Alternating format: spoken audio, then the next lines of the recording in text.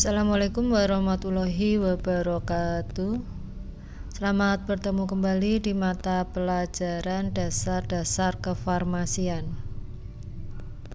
Pada materi kali ini kita masih akan membahas mengenai perjalanan obat dalam tubuh. Tetapi kita akan membahas tentang fase farmakokinetika. Nah, apa sih yang dimaksud dengan farmakokinetika? Farmakokinetika itu adalah segala proses yang dilakukan tubuh terhadap obat berupa absorpsi, distribusi, metabolisme atau biotransformasi, dan ekskresi. Biasa disingkat dengan singkatan ADME. Nah, fase ini itu meliputi waktu waktu selama obat diangkut ke organ yang ditentukan, yaitu setelah obat dilepaskan dari bentuk sediaan, kemudian diabsorpsi ke dalam darah dan segera didistribusikan ke masing-masing jaringan di dalam tubuh. Kemudian di dalam darah, obat ini akan diikat oleh yang namanya protein plasma darah dan reaksi ini bersifat reversibel. Hanya molekul obat bebas yang dapat menembus membran sel untuk masuk ke dalam sel-sel hati tempat terjadinya biotransformasi atau metabolisme. Untuk molekul bebas lainnya itu memasuki jaringan beberapa organ dan mempengaruhi fungsi dari faal atau fungsi biokimia sehingga terjadi efek obat. Dan yang sebagian lagi memasuki ginjal dan kadang-kadang langsung diekskresi. Namun obat umumnya itu baru diekskresi setelah mengalami biotransformasi Nah, di sini akan terlihat bahwa jutaan molekul obat yang telah diabsorpsi itu mengalami berbagai macam proses secara simultan. Di mana proses absorpsi, distribusi, metabolisme, dan ekskresi yang biasanya disingkat ADME ini biasanya terjadi pada waktu yang bersamaan, baik secara langsung maupun tidak langsung. Nah, proses ini biasanya meliputi perjalanan obat melintasi membran sel. Sebelum mencapai konsentrasi efektif pada tempat aksi, obat harus melakukan penetrasi terhadap beberapa sawar atau barier yang terdiri atas membran unit atau membran plasma yang terbentuk dari lapisan fosfolipid biomolekuler. Nah, umumnya molekul obat yang bersifat nonpolar itu lebih mudah melintasi membran daripada molekul obat yang polar karena membran ini terdiri dari lemak. Kemudian ada pun mekanisme pengangkutan obat untuk melintasi membran sel itu ada dua cara. Yang pertama secara pasif itu artinya tanpa menggunakan energi. Bisa dengan filtrasi yaitu melalui pori-pori kecil dari membran misalnya air dan zat hidrofil. Bisa juga secara difusi yaitu zat melarut dalam lapisan lemak dari membran sel, contohnya ion anorganik.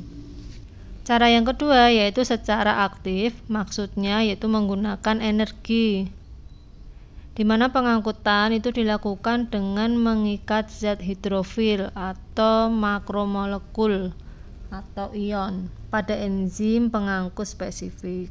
Kemudian setelah melalui membran, obat dilepaskan lagi. Di mana cepatnya penerusan itu tidak tergantung pada konsentrasi obat. Contohnya pada glukosa, asam amino, asam lemak, garam besi, vitamin B1, B2 dan B12. Kemudian kita masuk ke pembahasan absorpsi. Nah, absorpsi ini itu adalah suatu proses yang sangat penting dalam menentukan efek obat. Di mana pada umumnya obat yang tidak diabsorpsi itu tidak menimbulkan efek, kecuali obat antasida dan obat yang bekerja lokal. Proses absorpsi ini terjadi di berbagai tempat pemberian obat, misalnya melalui alat pencernaan, otot rangka, paru-paru, kulit, dan sebagainya. Nah, absorpsi atau penyerapan ini dipengaruhi oleh beberapa faktor. Yang pertama ada kelarutan obat.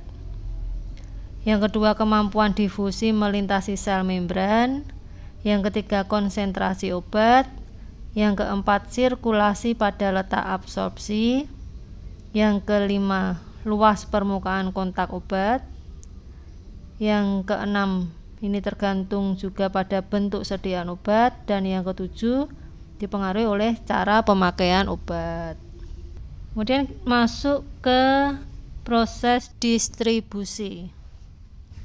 Nah, obat setelah diabsorpsi itu akan tersebar melalui sirkulasi darah ke seluruh badan dan harus melalui membran sel di mana agar tercapai tempat pada efek aksinya. Molekul obat yang mudah melintasi membran sel ini akan mencapai semua cairan tubuh, baik intra maupun ekstrasel. Sedangkan obat yang sulit menembus membran sel, maka penyebarannya terbatas pada cairan ekstrasel. Kadang-kadang beberapa obat itu mengalami kumulatif selektif pada beberapa organ dan jaringan tertentu karena adanya proses transport aktif pengikatan dengan zat tertentu atau daya larut yang lebih besar dalam lemak. Nah, kumulasi ini digunakan sebagai gudang obat yaitu protein plasma, umumnya albumin, kemudian jaringan ikat dan jaringan lemak. Selain itu, ada beberapa tempat lain, misalnya tulang, organ tertentu, dan cairan transel yang dapat berfungsi sebagai gudang untuk beberapa obat tertentu. Nah, distribusi obat ke susunan saraf pusat dan janin itu harus menembus sawar khusus, yaitu sawar darah otak dan sawar uri. Obat yang mudah larut dalam lemak pada umumnya akan mudah menembus sawar ini.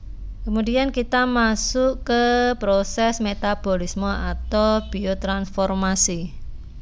Adapun tujuan dari biotransformasi obat itu adalah pengubahannya yang sedemikian rupa hingga mudah diekskresi oleh ginjal. Dalam hal ini menjadikannya lebih hidrofil. Pada umumnya, obat dimetabolisme oleh enzim mikrosom di retikulum endoplasma sel hati. Pada proses metabolisme, molekul obat dapat berubah sifat antara lain menjadi lebih polar. Metabolit yang lebih polar ini menjadi tidak larut dalam lemak sehingga mudah diekskresi melalui ginjal. Jadi metabolit obat itu dapat lebih aktif dari obat asal atau disebut dengan bioaktivasi dapat juga menjadi tidak aktif atau kurang aktif atau disebut juga dengan detoksifikasi atau bioinaktivasi atau dapat juga menjadi sama aktif. Kemudian proses metabolisme ini memegang peranan penting dalam mengakhiri efek obat di mana hal-hal yang dapat mempengaruhi metabolisme yaitu di antaranya yang pertama ada fungsi hati di mana metabolisme dapat berlangsung lebih cepat atau lebih lambat sehingga efek obat dapat lebih lemah atau lebih kuat dari yang kita harapkan.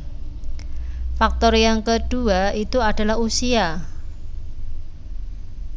Pada bayi metabolismenya ini lebih lambat dibanding dengan orang dewasa. Yang ketiga itu ada faktor genetik atau turunan. Ada orang yang memiliki faktor genetik tertentu yang dapat menimbulkan perbedaan khasiat obat pada pasien. Kemudian yang keempat adanya pemakaian obat lain secara bersamaan.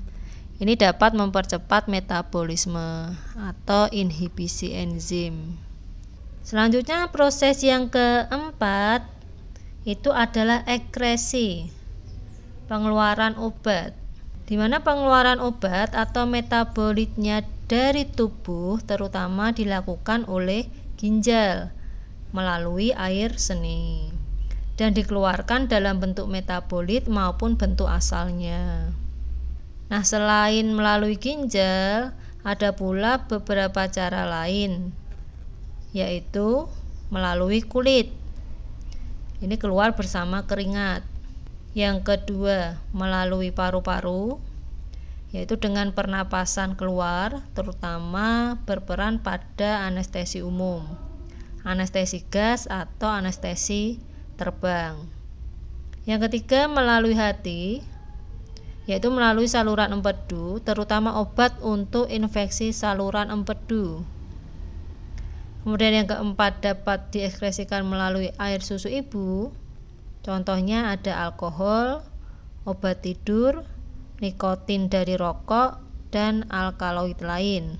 Jadi harus diperhatikan karena dapat menimbulkan efek farmakologi atau toksis pada bayi. Kemudian yang kelima, ini dapat dikeluarkan melalui usus.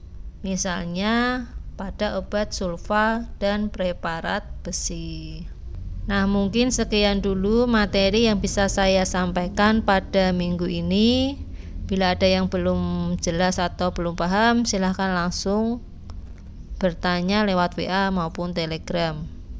Sebelumnya saya ucapkan terima kasih pada kalian semua yang sudah menonton video ini sampai selesai. Sekian dulu. Wassalamualaikum warahmatullahi wabarakatuh.